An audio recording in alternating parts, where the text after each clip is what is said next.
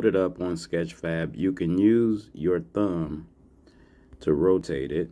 You can use both fingers, squeeze to push back, spread apart to zoom in closer.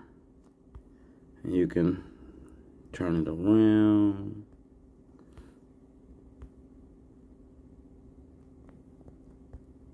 Flip it around.